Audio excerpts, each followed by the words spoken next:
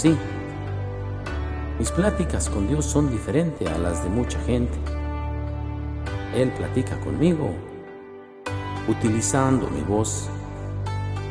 En esos momentos me siento tranquilo, pero un poco confundido, porque no sé si soy uno o dos.